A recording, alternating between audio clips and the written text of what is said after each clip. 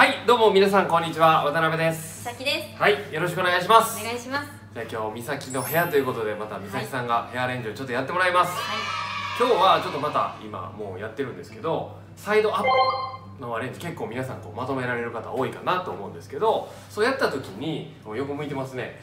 はい。あの最初はこうピタッとまとまってるかなと思うんですけど時間が経ってきたりとかするとこうだるんと緩んでくるっていう経験多いかなと思うんですけど今回はちょっとある裏技を使って時間が経ってもここがもう緩まない方法を美咲さんが伝授伝授してくれます。はい。よろしくお願いしおます。願いします。特に髪の毛が多い人はすごい崩れやすいと思うのでぜひ試してほしいと思いますのでよろしくお願いします。はいよろしくお願いします、はい。じゃあ動画やってやっていきましょう。はい。はい、それでは動画スタート。まずシアオイルからつけていきます毛先中心にしっかりとまとまりが出るぐらいつけていきます。まず耳後ろから分け取ってサイドの部分をダッカールで留めておきます。サイドの反対側も同様にやっていきます。後ろ側も縦に半分に分けてまず右側の部分をダッカールで留めておきます。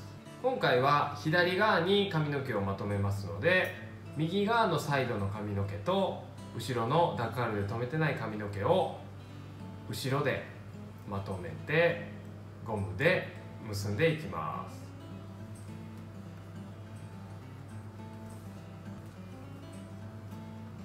サイドの髪の毛がピタッとまとまっているのがポイントです。残りの髪の毛のダッカールを外してさっきまとめたゴムの上の部分に2つの髪の毛をまとめていきます。ゴムでしっかりと結んでいきます。なるべくサイド寄りにまとめるのがポイントです。上に結んだところの空洞ができてますのでそこに下から指を入れてゴムの部分を引っ張ってくるりんぱをしていきます。次にくるりんぱの部分を少しだけほぐしていきます。だいたい束感が 3mm 束ぐらいでほぐすのがポイントです。次にバックの部分も同様に指でわしづかみにしてそのまま少しだけボリュームを出していきます。横から見た時にこのぐらいの丸みが出てれば大丈夫です。今回はお好みでヘアゴムをつけていきます。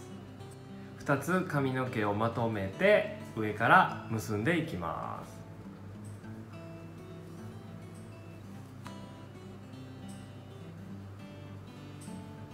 はい。こんな感じで仕上がりました。